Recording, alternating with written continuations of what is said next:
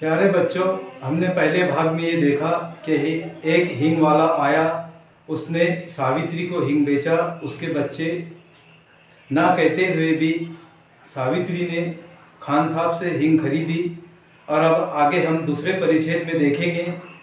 कई महीने बीत गए, हिंग खत्म हो चुकी थी सुबह सुबह का वक्त था, सावित्री उसी चबूतरे के नीचे बैठी हुई थी अचानक उसे आँगन में उसके पति की ज़ोर ज़ोर से बोलने की आवाज़ आने लगी।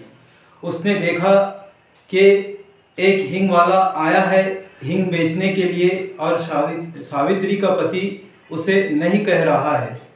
सावित्री ने जब आवाज़ सुनी और हिंग बेचने वाला अंदर चला आया और सावित्री उसी चबूतरे के नीचे बैठी हुई थी जैसे ही वो सावित्री पास आया, सावित्री ने कहा, खान साहब, तुम इस बार आने में तुमने बहुत देर कर दी।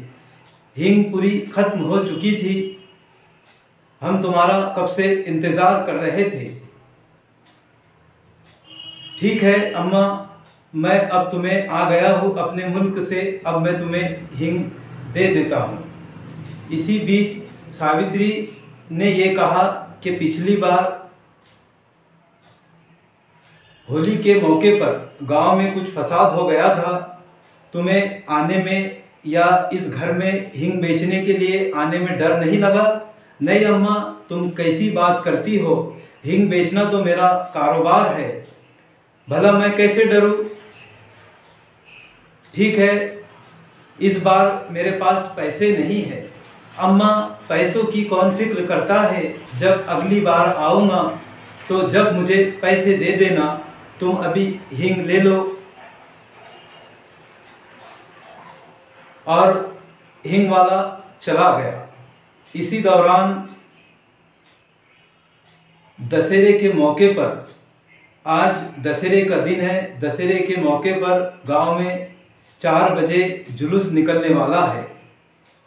इस जुलूस में जाने के लिए सावित्री के बच्चे सुबह से ही तैयार है।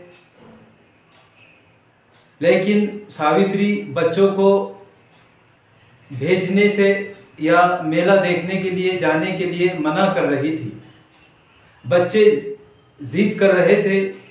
नौकर रामू ने कहा, अम्मा, जाने के लिए इजाज़त दे दो। मैं बच्चों को साथ ले जाऊँगा और आप किसी तरीके की कोई चिंता मत करो। मैं बच्चों को मेला दिखाकर घर सुख रूप वापस ले आऊँगा।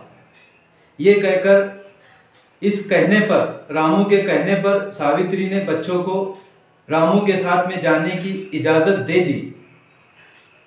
और बच्चे मेला देखने के लिए रामू के साथ में चले गए।